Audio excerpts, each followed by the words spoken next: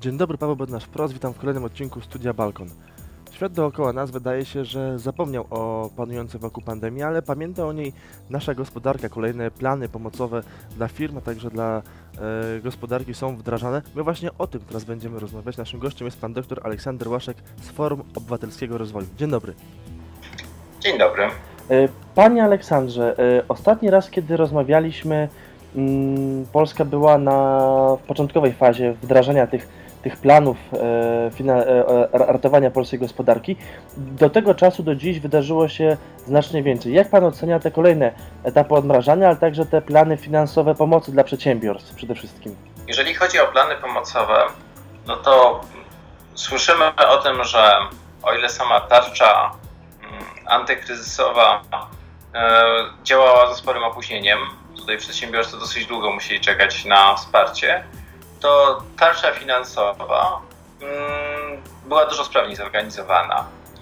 To oczywiście, co teraz jest kwestią otwartą, to ile razem za to zapłacimy, no i jakie zmiany w podatkach czekają nas w przyszłym roku właśnie, żeby sfinansować koszty obu tych narzędzi.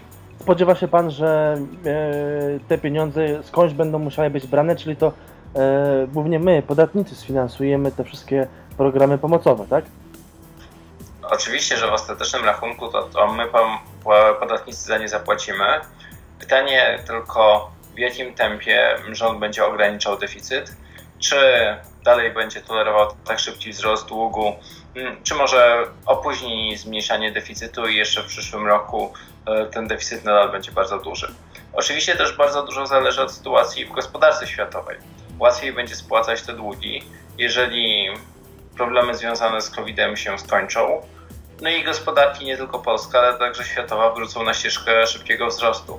W momencie, kiedy gospodarka szybko rośnie, łatwiej jest spłacać długi. A czy te pieniądze unijne, które no, de facto rząd jeszcze negocjuje, one będą w stanie e, no, de facto uratować tę gospodarkę? No bo rząd mówi, że one pójdą na te duże infrastrukturalne projekty. Czy tego typu działania no, są, są, są dobrym krokiem po prostu w tej sytuacji, w której mamy? Takie działania sprzyjają wzrostowi gospodarczemu, ale też zawsze bym był ostrożny przed mówieniem o ratowaniu gospodarki, bo trzeba pamiętać, że takie kwoty to jest nadal kilka procent naszego PKB. Inne czynniki, jak na przykład zachowania czy optymizm konsumentów, są dużo ważniejsze. Oczywiście jest tak, że te rzeczy są powiązane. Jak ruszają programy inwestycyjne, więcej osób pracuje, no to ten optymizm konsumentów rośnie ale ten optymizm zależy nie tylko od działań rządu. Także takie pieniądze mogą pomóc, ale nie sprowadzałbym wszystkiego do zero-jedynkowego stwierdzenia, że te pieniądze uratują naszą gospodarkę. Panie Aleksandrze, a jak Pan ocenia ten pomysł e, tych bonów wakacyjnych? No bo dużo się mówi, że jednak tych pieniędzy trochę w budżecie brakuje. No tu jednak wydatek 7 miliardów złotych do, do, dosyć spory koszt dla budżetu. No i pytanie, czy to, to też przełoży się faktycznie na podniesienie tej branży turystycznej z kryzysu? Tutaj jestem bardzo sceptyczny co do takich programów. Mm, widziałem potrzebę pomocy dla przedsiębiorstw w trakcie samego kryzysu, ale zwiększanie wydatków publicznych finansowanych z podatków albo z długu później, no to już mam wrażenie, że szkody są większe od korzyści. E, pomysł bonu turystycznego ewoluuje. Przedtem była mowa o tym, że to ma być dla pracowników. To było głupim pomysłem, bo oznaczałoby w praktyce, że z czasem praca na etacie byłaby droższa. E, na starcie miało być 10% finansowane przez pracodawcę, ale ta część miała rosnąć. Co to znaczyło w praktyce? Że pracodawca zatrudniając osobę na etacie musiał się liczyć z tym, że będzie jeszcze dopłacał do mm, jego do urlopów tej osoby. Innymi słowy, praca na etacie byłaby droższa.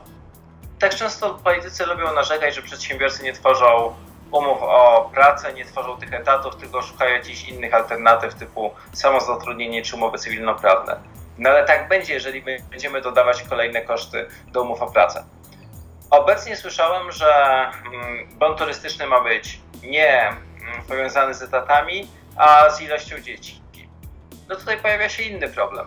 E, najwięcej dzieci jest w najbogatszych gospodarstwach domowych, Więc tak naprawdę na, największym beneficjentem tego programu byłoby 10% najbogatszych gospodarstw domowych. Czyli naprawdę po to chcemy mm, płacić podatki, żeby finansować przede wszystkim wsparcie dla najbogatszych. No chyba nie o to chodzi.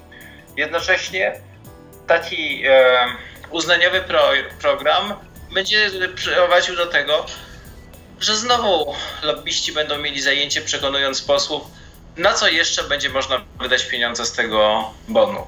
Także taki program jest jednocześnie zwiększający wydatki publiczne, a z drugiej strony otwierające porę do, do przepychanek, na co będzie można to wydać, na co nie, moim zdaniem e, przynosi więcej szkód niż pożytku. Panie doktorze, a jeśli chodzi o ten pomysł trzymiesięcznego świadczenia dla etatowców, którzy stracili pracę? Generalnie moim zdaniem takie pomysły są już spóźnione i tutaj tak naprawdę uciekają od y, prawdziwej przyczyny olbrzymiego bałaganu na rynku pracy. Tak jak mówiłem, umowy o pracę w Polsce są bardzo mocno obciążone. Mm, osoba zarabiająca połowę przeciętnego wynagrodzenia w Polsce jest obciążona prawie 40% podatków i składek. To jeden z najgorszych wyników w OECD. W efekcie mamy dużo osób samozatrudnionych na umowach cywilnoprawnych.